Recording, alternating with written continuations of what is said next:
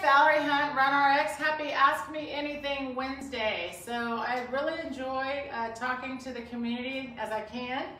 And most of the people that reach out with questions, I really appreciate it. So today we had a couple of questions come in.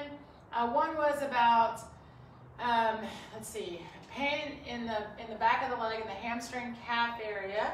And the other question I got was about. Uh, oh gosh, I'm gonna, I'm gonna forget. Oh, it's breathing.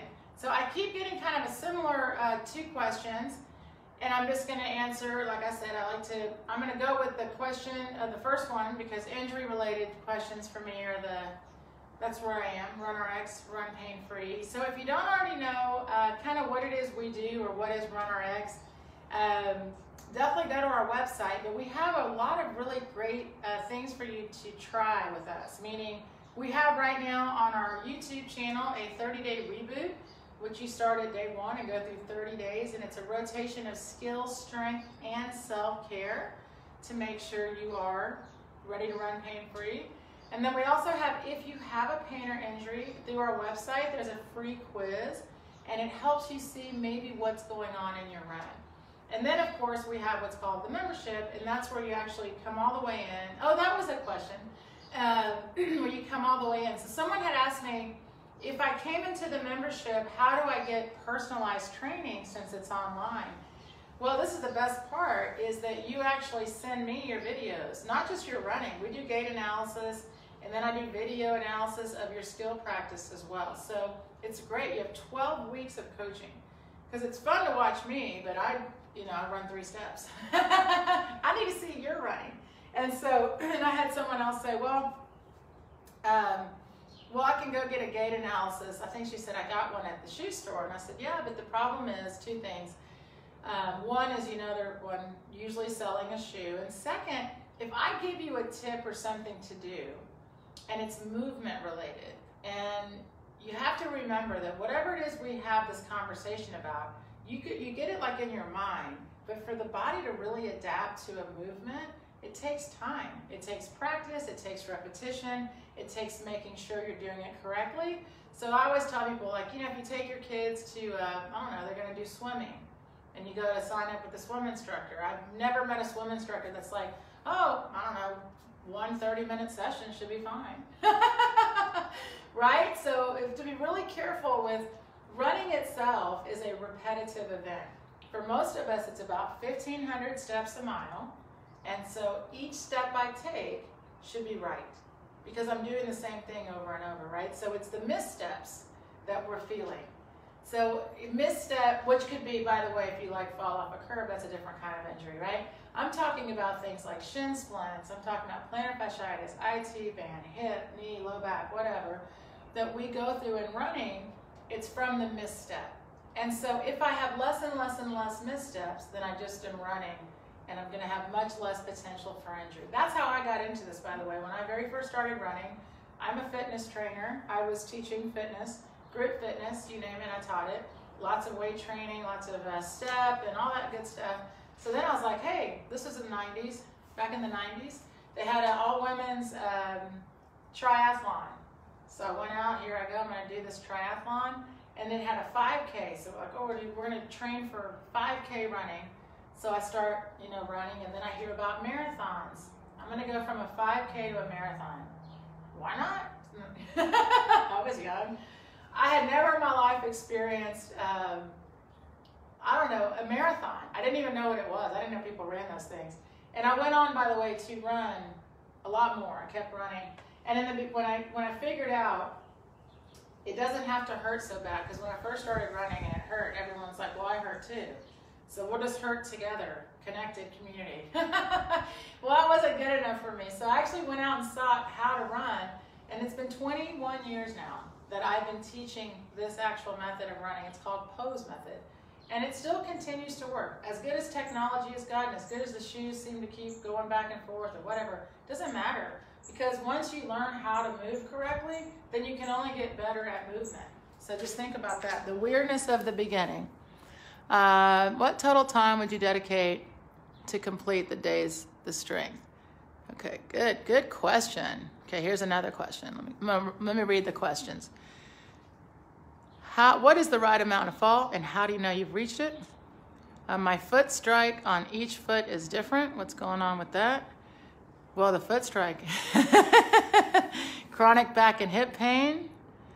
Uh, which water belts do you use? All right, good questions. Okay, let's go through them. Thank you. Okay. I even have my glasses on today because I'm really nearsighted, so I want to make sure I can see when there's a question. So this, uh, I'll put, put a couple of things together. Um, when you, okay, let me, let me answer the first one. So the first question was, how much time do I have to dedicate to my practice? Um, so, you know, again, like the membership's 12 weeks, right? The reboot, the reason I did this is if you go through the reboot, each day is a practice. And some of the days might just be stretching your calf, by the way. I tell people you have to dedicate the amount of time, one, that you're willing, but to learn something is a dedication of not so much time, but focus. So five minutes of focused time daily would be amazing. A focused skill practice. You see what I mean? The skill practice itself of what it is running is has to be thought about as well as done. So keep that in mind. Then I tell people what I tell, what the way I recommend it is you add the skill practice, add it to your warm up. You're already going to go running. So if I do a very consistent skill warm up before I run, then I've got my, I'm about to go running. It makes sense to practice before I run. So it's kind of a nice way to integrate it. And then I do post run um, strength and recovery. So then around my runs, I'm doing the work so I can keep running. That's just the only way it works. However, what's really, really cool, and it goes right into the next question. So five, I mean, I tell people like five minutes, give me two. Like schedule for five, focus for two. Like even right now, it's hard to stay focused, right? I mean, we gotta go, we gotta go. I don't miss my run. I understand that mentality. I'm that same person.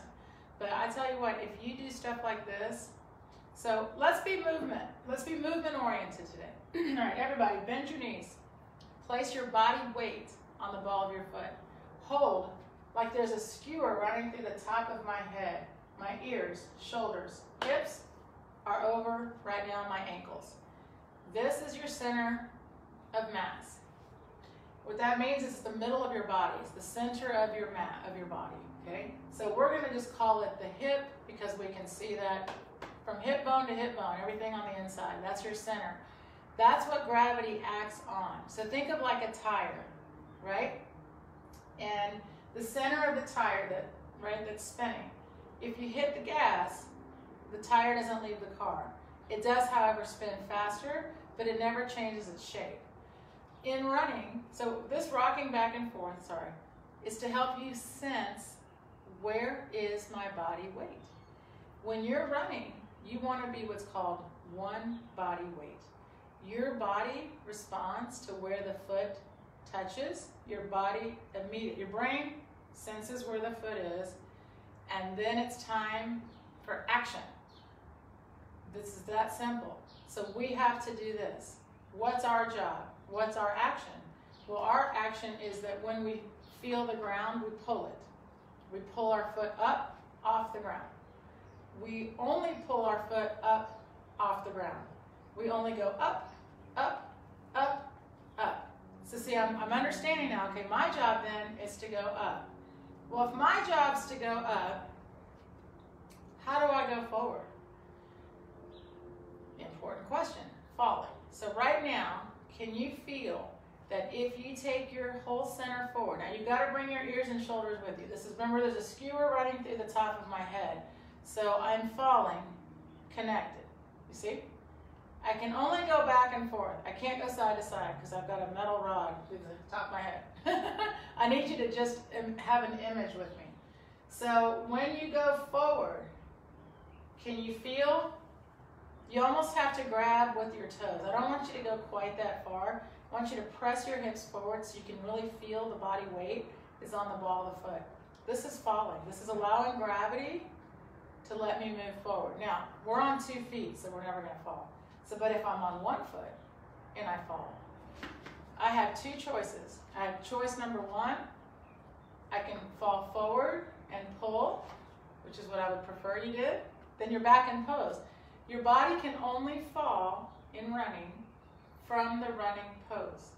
Isn't that cool? So if I practice the running pose, which we'll do in a second, and I allow my body to free fall, because gravity's already here, and I simply pull, I will continue to travel forward. Because my body weight is traveling forward, and my foot will keep up with my body weight. So then I'm pulling, by the way, 2% of my body weight. 2% of my body weight using 10% active muscle contraction. Instead of what most people do is they take their foot. We all run through the pose, by the way. If you ever send me a gait analysis, you will see your pose. You already run in pose, gravity's already with us, and your foot eventually comes off the ground. So those base elements are there. There's a blueprint for running. So it's already there for you. You want to pull, and most people do this. They go like that. They put the foot down. Most of you guys are running by looking for the ground. You're trying to control foot strike. Unfortunately, you're doing someone else's job. And when you do someone else's job, they usually don't like that. do your job. So my job is to pull. Guess what? Gravity brings your foot down. And the sooner you develop that understanding and that relationship, you'll have such a better relationship because gravity's not very nice. You keep getting in the way and you keep putting your foot down, there's your shin splint. If you're running, so someone said, I'm hitting the ground different on my right and my left, stop hitting the ground. You see what I mean? You're thinking the wrong thought. You're running by putting your foot down. So you're running by reaching. And if I reach my foot for the ground, look at my back one still pulled. But unfortunately, I'm not in pose, so that I'm stuck here in this weird off balance position. Your body will recover pose. Your body will always find balance. And then it's, unfortunately, you're like, oh, well, here I am. Push and reach, right? Because you're feel, you're waiting, you're looking for the ground. You're running by looking for the ground. You have to let that go. So someone said on there, I'm recovering from hip pain or back pain. Reaching your foot to the ground three times your body weight. Pulling, 2%. three times, so that's just a huge difference. And once you start to shift how you're treating your body, your body will thank you. You will reduce impact 53%. I promise your hips, your back, your knees, your IT bands, your all those things will start to reduce and eventually go away simply because you're not just jarring your back and hip every time you hit the ground. Let go of jobs that are not yours in running and you'll have such a better run. So let's just go through this real quick, okay? Three minutes. Bend your knees. The reason we want to have our knees bent is to use what's called muscle elasticity. And muscle elasticity we all have and can continue to develop till we're 85 years old, so no excuses. All right, so leaving my knees bent, not squatting, my knees are just bent. You want to pull using your hamstring, ankle up under hip. That's your job in running. Now, in practice, you pull to pose. In running, you only break contact with the ground.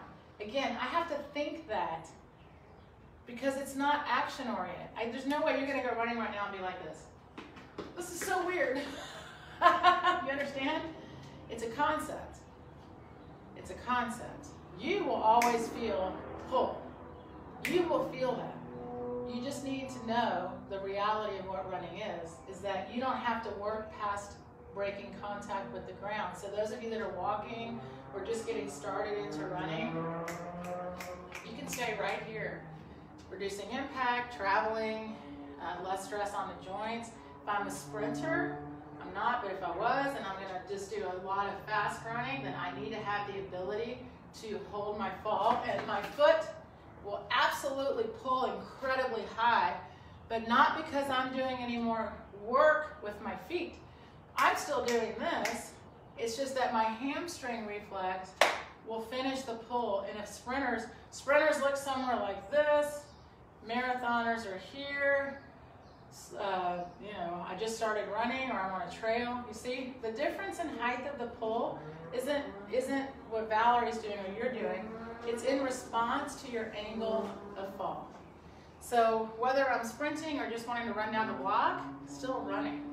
So if you practice running, by just practicing first, I'm in a running pose, ears, shoulders, hips, lifted ankle, in line over the ball of my foot. This right here, just the pose practice, develops strength in your foot, in your ankle, in your knee in your hips, in your back, because you're holding balance and you're holding stability on that one foot. You want to be very stable on your support foot when you run, because that's how you're going to be holding yourself up for 1,500 steps a mile. So however many miles you want to go, this never changes. Got to hold ears, shoulders, hips in line. So just practicing the running pose itself will actually help you improve your posture in walking and standing and everything else.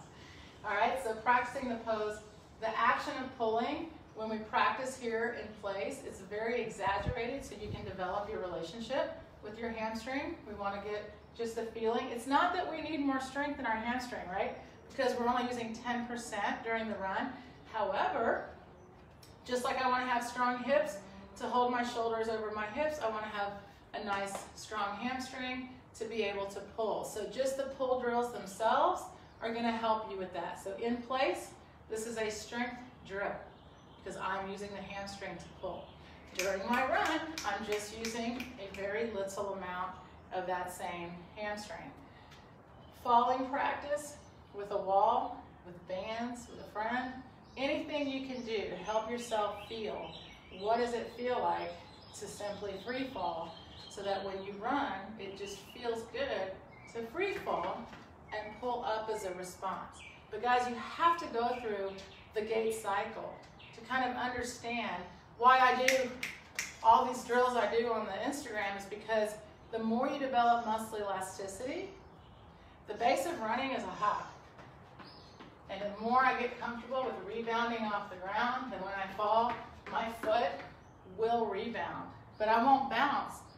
I won't bounce, why? Because my body's falling forward. My foot pulls up. There's no bounce. But I practice bouncing for strength and elasticity so that I don't have tension in my calves. I mean, I can tell you this. I went through, by the way, when I very first started running, um, like I said, a lot of hamstring issues. I've had the shin splints, I've had planters, had IT band, had sciatica one time. I haven't had any of that. I mean, I run, I don't run huge distances anymore, but I've run marathon, I've run, I've run a lot. And the thing is, is that if you do the balance of some skill work, it's very minimal, you have one job. you got to do a little elasticity work, and you include the strength and the self-care because, and when I say strength, like I just showed you, this is a strength exercise. If you look at the YouTube, my strength stuff is, is body weight. I'm not asking you to do weightlifting, but I have to be strong enough to hold my own body weight.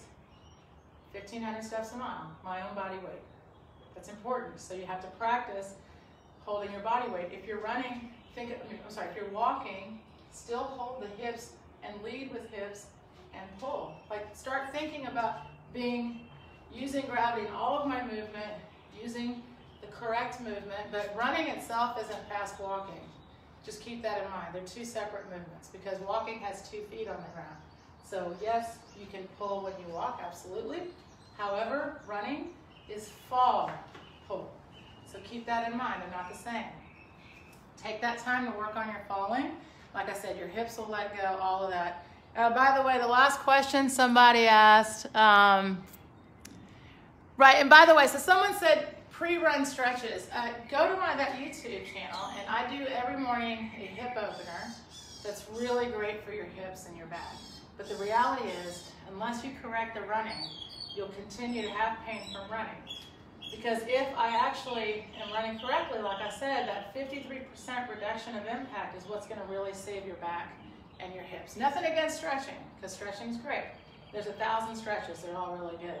Um, I do every day what's called a seated hip opener. And again, this is free in my YouTube, my practice, but hip openers. But you could get on a tangent of stretching. There's a lot of really good stretches. There's only one running pose. You see, so are, how much are you willing to put in? Practice 1,500 steps a minute. I can't stress it enough. It's not a stretch that's going to help you. It's you standing here and getting stronger in your own pose. I'm telling you, it's going to help you with walking, sitting, whatever you do, because you will start to stand with your ears, shoulders, hips in line. You'll use your body's weight to move forward. Connect with movement, like what is movement? And start to work with free falling. It's amazing. The fact is that most of us don't realize we can even accelerate with gravity, so we're fighting it. We're pushing, we're reaching, we're pumping our arms. And then all of a sudden you're like, oh my goodness, I didn't know. I didn't know I was spending too much time on the ground. That's where the injuries are coming from. So the more elasticity you develop, the quicker you pull up from the ground, that's going to be. And someone asked, uh, how do I know how much to fall? Well, you. this is the beautiful part. If I'm running in place, I only need to fall as much as I want to start traveling. If you want to go faster, you're going to have to increase your fall. How do I increase my fall? We got to practice. It doesn't just happen. Use a wall. See, I'm falling. When I'm running, because you'll understand what is falling, if you want to fall more, you will, because you allow that to happen. And then your foot will pull quicker in response. Uh, many people, when they first start trying to fall, they do this. So they think they're falling. It's called a false fall. So they're out there and they're like, woo! But they're not going anywhere. If, you if you're not actually uh, accelerating, then you're not falling because falling is acceleration. So make sure that if you feel like you're, whoo, I'm out of breath or I'm having to work a little harder, check, am I holding my ears, shoulders, hips in line or am I bending? That's really, really important. So if I'm feeling low back pain, probably I'm here or I'm here. Correcting just your running pose itself will correct so many low back, hip, ankle issues because you're going to put yourself back, you know, where you need to be. And then the elasticity stuff. So same thing. The reason your foot strike is different is because you're thinking about strikes. So once we get rid of your thought of foot strike and you simply just pull up, you will find a nice balance because it's going to change the way you look at, at your running or feel with your running. Because if you're landing different, it's because you're landing. You are looking for the ground instead of just pulling when you sense it. Uh, last question was gear. Um, that's not so much my thing, but if you are into, um, like if you're a trail runner, you know, I think I used to use that Nathan vest or North Face. You got to play with it. Honestly, guys, I'm not a gear person. You're welcome. Sorry. Minimalist. but when I used to do a lot of trail runs, I used to I used to handheld a handheld use Nathan. I used to handheld the bottle. And then I switched to wearing a vest. So some people like that, some people don't. I don't love the sound of water sloshing. And then the reality is, is that where you, most places you run, there's, like if you're running a road race, there's water stops everywhere. So um, you gotta play with gear, sorry.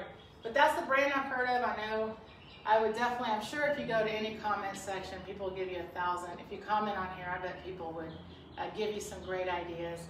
But it, holding a bottle is fine if you want to hold a bottle. Definitely trade arms. You're not off balance, right? Or put one down on your run route. But otherwise, I'm here to help you work on just your running itself. So any questions you have on running or pain injury, just put them in the comments, reach out, and I'll get to them next week. Meanwhile, I'll just keep putting out some stuff for you guys to practice. Thank you so much.